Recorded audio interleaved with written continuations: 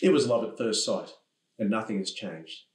And I still remember that day as if it was just yesterday. The delight of my eyes, the racing of my heart, the overwhelming of my senses, the feverish anticipation of that moment when what I'd only ever imagined and dreamed of finally became a reality. And I drew near and embraced my first piece of Kentucky Fried Chicken. What a moment. I will never forget it. The taste, the texture. I was in love. But what does my love for delicious fried chicken have to do with what we're looking at today? Well, let me ask you the question What is love? I mean, let's just say a total stranger came up to you and asked you, What is love? What would you say? How would you explain it? Would you say it's a feeling you have? It's a personal preference, what the world needs now, chemistry, desire. What is love?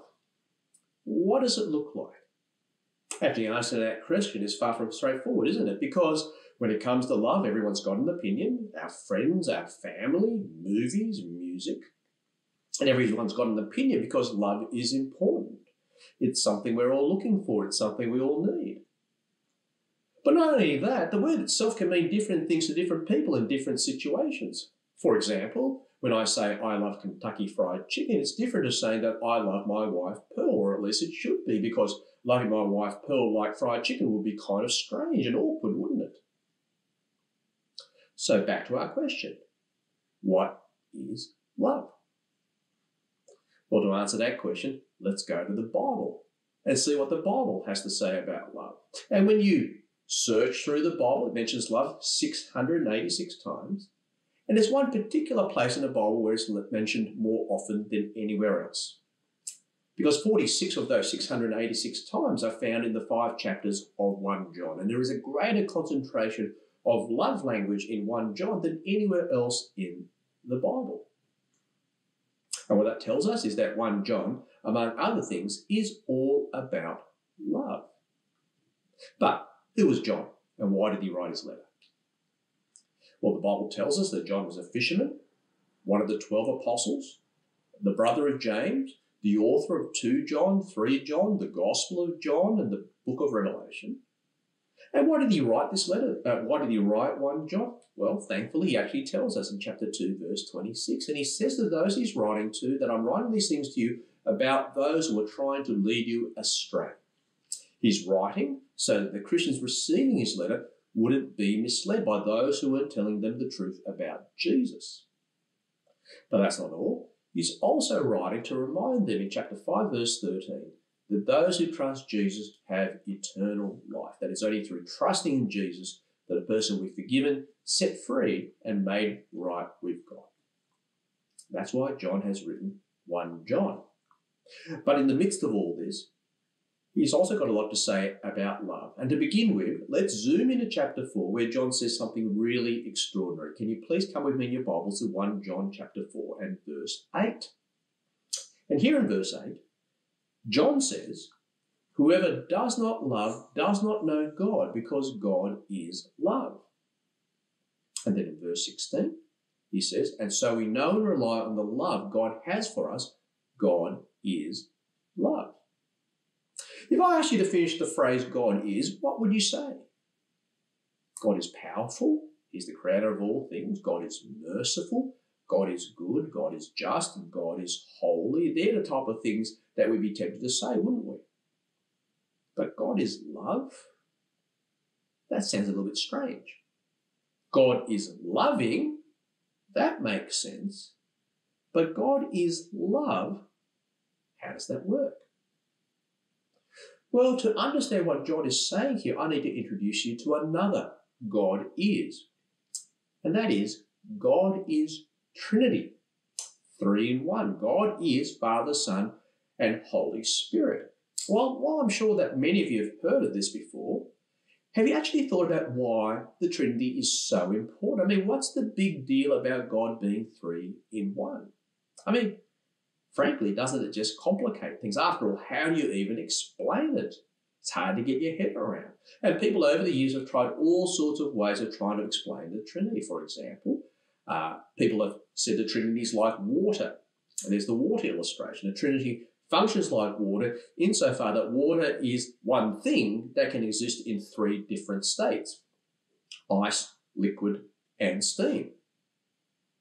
But while that kind of makes sense, it doesn't really work. And if you push it too far, you get into all sorts of trouble. Especially because water is always one or the other. Ice can't be steam at the very same time.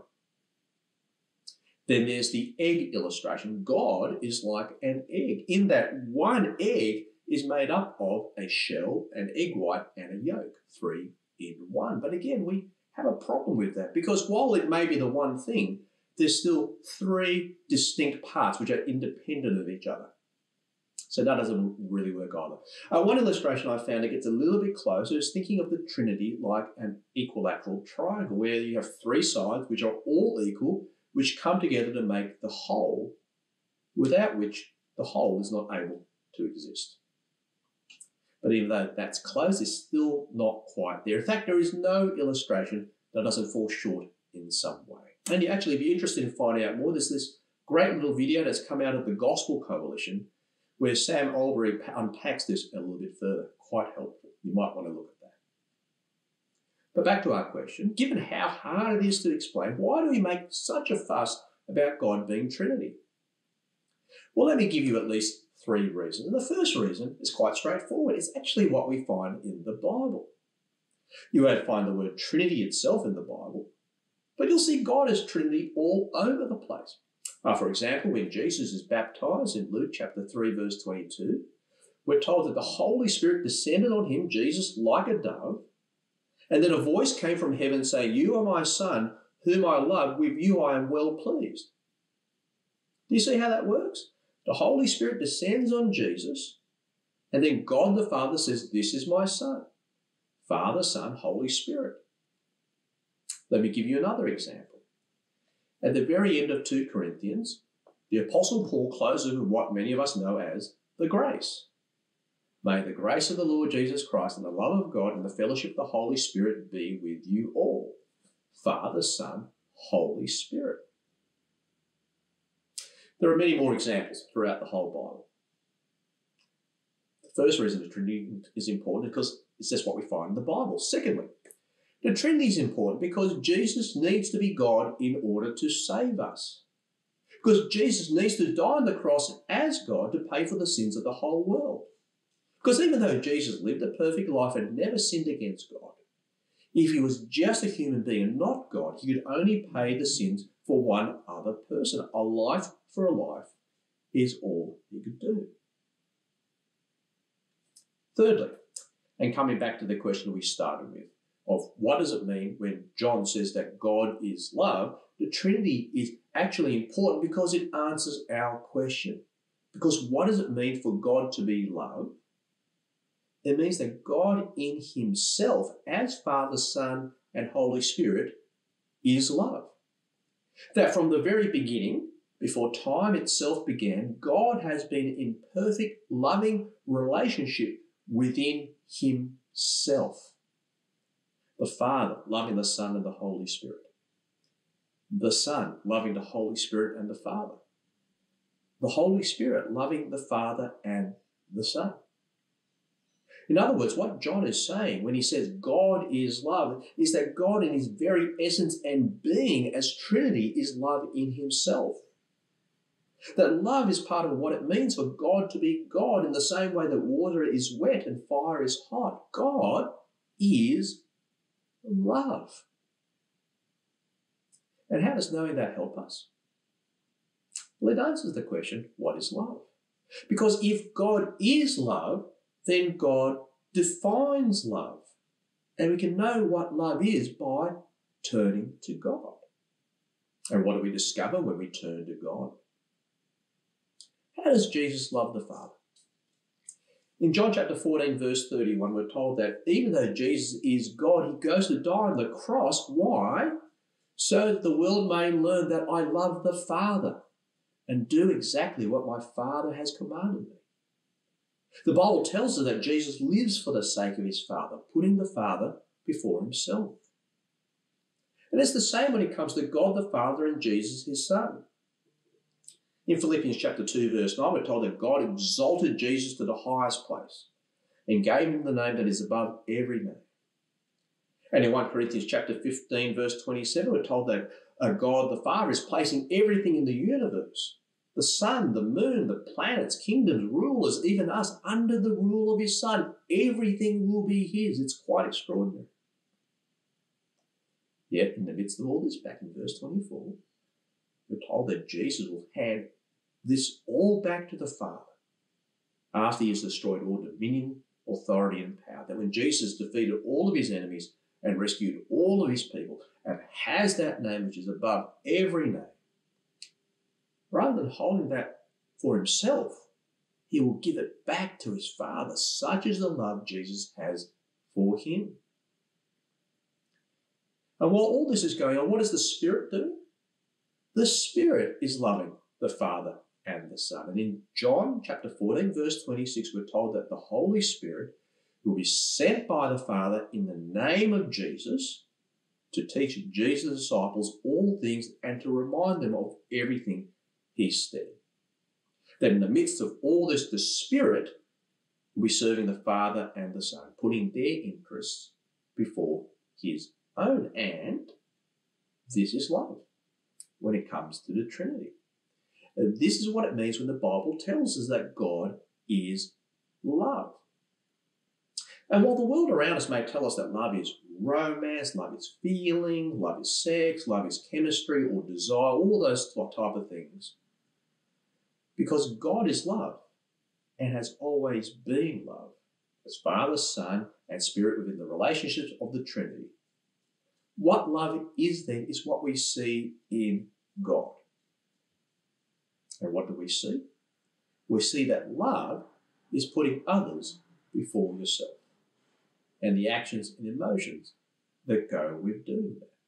That love is putting others before yourself and the actions and emotions that go with doing that. That's love. That's what love is. And getting that right is really important because getting it wrong can lead you down the wrong path. I'm not a great fan of rom coms or teen dramas, more of an action movie, sci fi fan myself, but I found, myself, I found myself watching The Princess Diaries one day, which, in case you haven't seen it, it's about a young girl who discovers that she's actually a princess. Compelling viewing, I highly recommend it. Nevertheless, there's this scene from The Princess Diaries that's always uh, stuck with me. And uh, here's this budding princess talking with her mother about what she hopes from her first kiss. And what she hopes for is that when she has her first kiss, her foot would pop, it would lift up, like in the movies of old. And here is one definition of love that many people have that love is this overwhelming of emotion, that love is romance. Love is where you lose control. You just can't help yourself. Your foot will just pop. And while to a certain extent there's nothing wrong with saying that, you know, it's just a movie, I'm sure that a generation of teenage girls went looking for that type of love and ended up being sorely disappointed. Because, you know, love's not like that outside of the movies most of the time. Yet we, we know where this kind of sentiment is coming from, don't we? This whole idea that love's supposed to be this special and extraordinary and difficult to find thing. If we only we can find our soulmate whose name is written in the stars, then we'll be able to experience love in all of its fullness. That's the idea of love that many people have in their mind. And let me ask you, have you ever thought about love that way as you've thought about love? And as a result, have you ever found yourself worrying that you may never find it? That you won't find the right person? That you might miss out. Because, uh, you know, plenty of people do, because we're all looking for love and we all need love. And because looking for love is just part of what it means to be human, that fear of missing out can be very real in our lives. And that's especially the case if we've had bad experiences in our own family or history, or we struggle with the whole idea that we, of all people, deserve to be loved. And as a result, we can go looking for love in all the wrong places, can't we? Entering relationships with people we shouldn't, crossing boundaries we shouldn't, making poor decisions that are hard to come back from.